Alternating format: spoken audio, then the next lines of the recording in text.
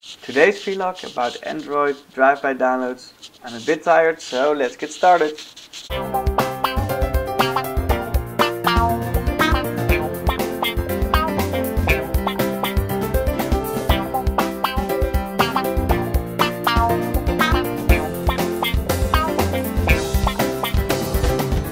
Hey YouTube, welcome to a new vlog.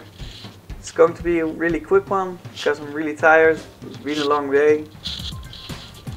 The recommended article today is called The First Known Android Drive-By Download Found.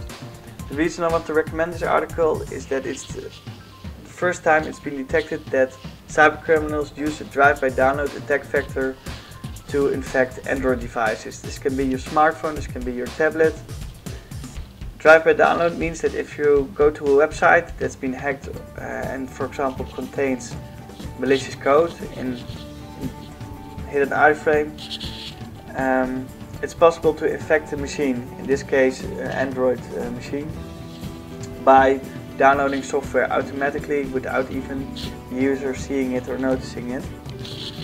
In this case it will uh, download a malicious app and if your security settings aren't in order um, the malicious app will also be automatically installed.